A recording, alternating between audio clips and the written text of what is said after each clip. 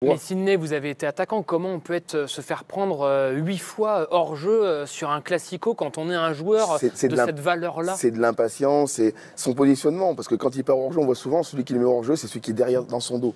Donc il n'a pas cette notion de ligne que peuvent avoir les vrais attaquants, les vrais numéros 9. Cette semaine, Kylian Mbappé est passé par tous les états entre la Ligue des Champions en début de semaine et le Classico hier soir.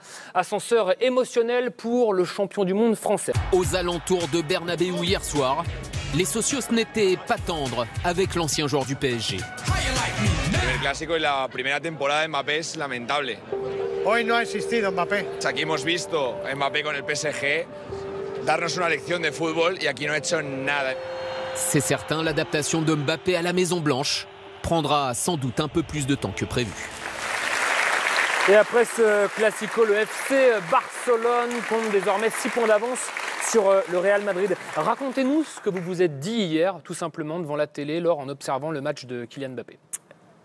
Je me suis dit que Kylian Mbappé était plus le, le joueur top mondial qu'on a connu euh, il y a, allez, je dirais, depuis la Coupe du Monde au Qatar. Je, Vous l'avez découvert hier soir?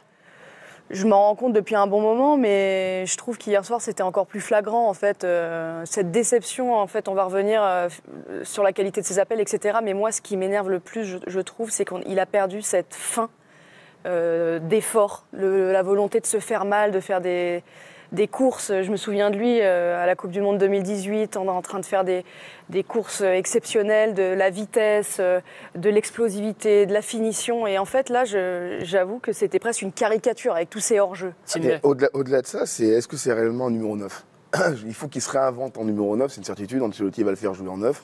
Mais on le voit, il est jamais. Il est très performant quand il démeure ses actions. C'est lui le qui côté. voulait être neuf, euh, Alors, Sidney. entre ce qu'il veut et ce qu'il est réellement, Ah ouais, mais bon. le terrain, moi, pour moi, le prouve.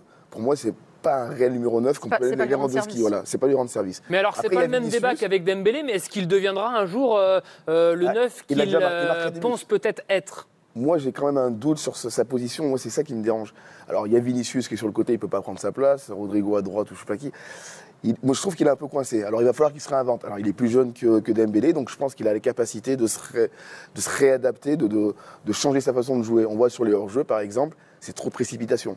Alors que quand il est sur le côté, il démarre de plus loin, il a la ligne devant lui. Il Mais, voit. mais vous avez été attaquant. Comment on peut être, se faire prendre euh, huit fois hors jeu euh, sur un classico quand on est un joueur de, cette valeur-là? C'est de l'impatience, c'est son positionnement. Parce que quand il part hors jeu, on voit souvent celui qui le met hors jeu, c'est celui qui est derrière dans son dos. Donc il n'a pas cette notion de ligne que peuvent avoir les vrais attaquants, les vrais numéros 9. Ah, Vous parlez euh, de son poste de numéro 9. Pour moi, c'est un vrai problème pour Bellingham aussi, qui brillait dans une position un petit peu plus haute et qui est complètement bridé aussi par l'arrivée de, Kylian Mbappé. Euh, quelque chose, moi, qui m'a frappé hier, euh, je me suis dit à un moment, mais il n'y a pas de passe entre Vinicius et Mbappé. Et j'ai vérifié, une seule passe de Vini pour euh, Mbappé et dans le sens inverse, une seule aussi. Et ça aussi, c'est un vrai problème. Il n'y a En pas fait, de connexion. en À fait. vous écouter, il perturbe peut-être un peu l'équilibre euh, établi jusqu'à présent. C'est une des conséquences. Ça peut être une des conséquences pour lui, euh, Bertrand? Bah, c'est l'analyse la plus rapide à faire à l'issue du match d'hier, puisque il a, il a intégré une équipe qui a gagné avec des champions la saison précédente, et pour le moment, euh, son intégration est extrêmement difficile. Après, euh, je me méfie, me méfie un petit peu des passes euh, entre les différents joueurs offensifs. Moi, je reste persuadé que son, son vrai positionnement, s'il veut performer comme on l'a vu par exemple en 2018, là où il a explosé, c'est sur un côté. Il peut se, ré- il, il peut se réinventer parce qu'il est jeune. il faut courir pour ça, Sidney. Il faut qu'il y ait quelqu'un Ah, qui il fasse- est Mais capable. Moi, je pense qu'en côtoyant des grands joueurs, il a eu cette envie d'être un joueur qui court pas et, et d'être le joueur que- qui fait rien mais qui arrive à marquer en, en faisant le minimum d'efforts donc là, je fais la traduction de leur boulot. Il veut se prendre pour Neymar, euh, Pour gris Messi, gris, à la technique. et Neymar c'est courait le beaucoup. Neymar, Neymar courait plus que ouais. Mbappé. Ok, mais non, mais est-ce que ma lecture est la bonne de Oui, votre c'est analyse exactement ça. Et je, je- je pense qu'il a pris un, un statut tellement important qu'aujourd'hui, il a envie euh, de faire beaucoup moins d'efforts, mais d'avoir euh, les, les mêmes lauriers. Mmh. Mais sauf que je pense qu'il va être obligé d'en faire un peu plus et de se faire violence pour redevenir le joueur qu'il était. Sauf c'est que passer à côté, C'est si pas de je la peux me pression, permettre, c'est- du- euh, passer à côté euh, quand vous jouez euh, les Ganes ou. Las Palmas, c'est une chose. Juste là, Margot, c'est le classico. Euh, forcément, ça prend euh, tout un tas de, de conséquences et les médias espagnols, nous on est soft, hein, eux ça tabasse. Mais il, il a été relativement épargné quand même hein, depuis son arrivée au, au Real Madrid. Et là, c'est clair que c'était le, le bouc émissaire euh, hier après cette euh, déroute hein, face euh, au Barça, à l'image du coup de gueule euh, de Thomas Ronggiro, qui est le rédacteur en chef du quotidien sportif AS. Il était dans l'émission El Chiringuito. euh, Ah bah oui. après la Oula. Nosotros no hemos fichado a Kylian Mbappé para que le meta dos goles al Valladolid o dos goles al Leganés. Porque eso lo hacían otros jugadores del Madrid el año pasado. Kylian, no te hemos traído para que tienes al muñeco el día del Barça. Era el día de tu consagración mundial. No lo guays, tienes que, con perdón, sacar energía, sacar rabia. Te paso vídeos de Cristiano. ¿Cómo se ponía cuando perdía? ¡Reacciona! Y enchúfala. Tienes siete meses para revertir la situación. Y para que el Bernabéu te abrace. Porque lo puedes hacer. C'est votre ami euh, Bertrand? Non, non, du tout. Et moi, je trouve qu'à l'inverse, les Espagnols, ils exagèrent. C'est-à-dire qu'ils ils le défendaient de manière, de mon point de vue, un peu inaudible jusqu'à hier. Et là, il ne faut pas exagérer non plus. C'est-à-dire qu'on peut parler de Mbappé, c'est le dernier arrivé, donc c'est forcément lui qui a tort. Et je crois que c'est Marot qui parlait de- du positionnement de Bellingham. Je trouve que là aussi, c'est un impact. Et il va falloir qu'il fasse attention parce que socialement aussi dans le vestiaire, euh, il y On en peut a. rajouter Rodrigo aussi. hein, Bien qui, sûr. euh, là, il était blessé, Tout à mais fait. quand il est là, il est Et puis même moment, euh, de les- temps en temps sur le banc. La connexion avec Vini, etc. Demain, il y a un ballon d'or, etc. Et là, il n'est pas au Paris Saint-Germain. Donc les mecs l'attendent.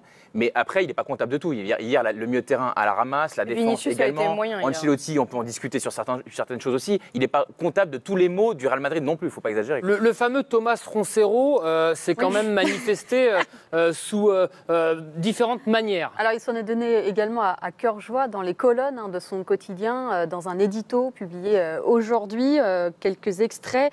J'en veux beaucoup à Mbappé, surtout. Il rate des buts que mon fils pourrait mettre. Voilà, il a vraiment euh, pas été tendre. hein, on voit aussi. Non mais Sidney, euh, bah, c'est too much. À un moment, C'est- du cirque, c'est du spectacle.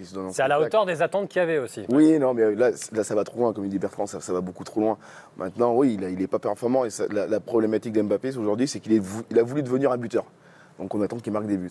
Et je pense que c'est pour ça, je pense qu'il n'a pas travaillé correctement, alors que moi, c'est un joueur exceptionnel. S'il ne se, il peut exister sans marquer des buts. Mais aujourd'hui, ben, la stat. dans les grands que- matchs, surtout.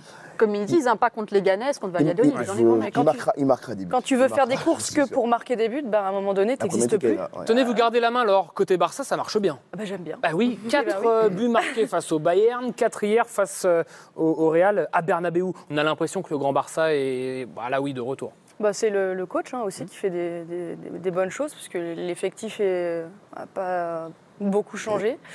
Mais euh, il arrive à faire jouer son équipe d'une manière euh, risquée, parce que derrière, ils sont souvent un contre un, mais je trouve que euh, offensivement, ça va plus vite vers l'avant. En tout cas, ça se casse un peu moins la tête. Et, et défensivement, ça reste costaud. Enfin, j'ai aimé ce que j'ai vu hier. Et surtout, il, met- il y a, il y a des joueurs qui bougent jamais. Quoi. Yamal, ça tourne jamais. Euh, Rafinha, il l'a mis capitaine, il est très bon. Euh, Lewandowski, ça bouge pas. Il a retrouvé la confiance avec son ancien entraîneur. Donc, euh, non, la confiance, elle est là. Et Hansi Flick, hein, entraîneur du Barça. Bah, Euh, hier, c'était un peu le Bayern de Barcelone hein, euh, qu'on a vu, parce que là, c'est le grand manière, retour du oui. Barça, mais c'est la naissance d'un nouveau Barça, avec hier six joueurs formés à la Masia, le centre de formation du Barça, dans le 11 de départ. Et devant ce trio qui est en train de prendre forme, Yamal, Rafinha, Lewandowski, on a trois générations, 17 ans, 27 ans et 36 ans.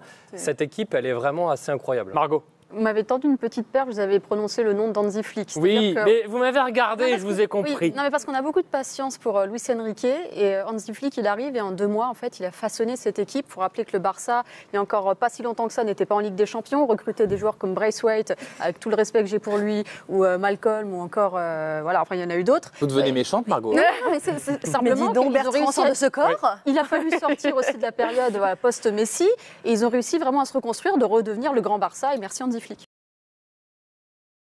Lamine Yamal pense déjà au titre. Est-ce que tu estimes que la Liga est déjà pliée? Est-ce que tu estimes que le Barça sera champion d'Espagne? Sois toi et bienvenue dans cette vidéo. Dans cette vidéo, on va parler de la Liga. Mais avant de commencer, si tu me découvres à travers cette vidéo, ici, nous, on parle de foot. Ici, nous, on est passionné par le foot. Le foot, c'est notre passion. Donc, si tu es intéressé par la thématique et surtout, si tu aimes ce genre de contenu, n'hésite pas de t'abonner, d'activer la cloche de notification pour ne rien manquer des prochaines vidéos qui vont arriver sur la chaîne. Si c'est fait, on est parti. Alors, la Liga, les gars, est-ce que tu estimes que la Liga est déjà pliée? Est-ce que tu vois le Barça champion d'Espagne? Je rappelle ici que avant le Classico, le Barça avait trois points d'avance sur le Real Madrid.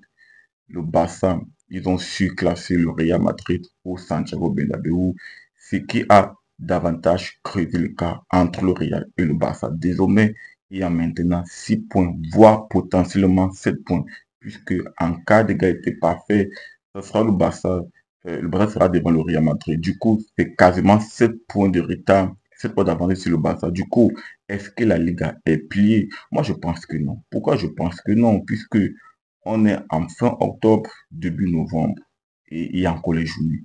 Il y a encore les journées, les gars. Il y a encore beaucoup de journées. Beaucoup de journées. Il y a plus de 25 journées derrière. Il y a plus de 25 journées derrière. C'est énormissime. C'est énormissime. On est encore en début de saison et je vois beaucoup de personnes dire que non, euh, la Ligue est déjà pliée. La Ligue n'est jamais pliée. La Ligue n'est jamais pliée. Si au moins il y avait l'écart de 10 points, 12 points, là je pouvais dire voilà, ça sera très compliqué. Mais 6 points, c'est rien. 6 points, c'est rien, sachant qu'il y a encore un classique au match retour.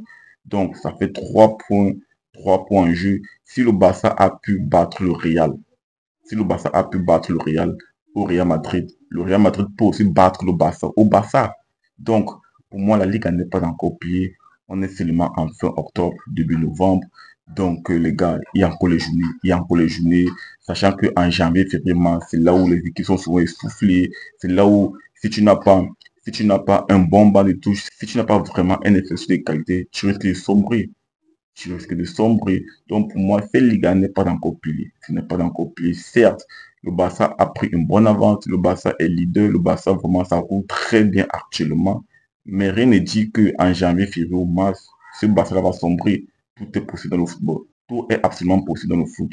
Dans le foot, tu peux quitter de héros à zéro, comme tu peux quitter de zéro à héros. Donc tout est possible, les gars. Moi, je pense que le championnat est loin d'être plié, très loin même. Après, partage-moi ton ressenti en commentaire par rapport à la thématique. Est-ce que tu estimes que la Ligue est pliée? Dis-moi tout. Et si ce n'est pas encore fait, n'hésite pas à t'abonner et d'activer la cloche de notification pour ne rien manquer des prochaines vidéos qui vont arriver sur la chaîne. On se dit à très bientôt pour notre vidéo.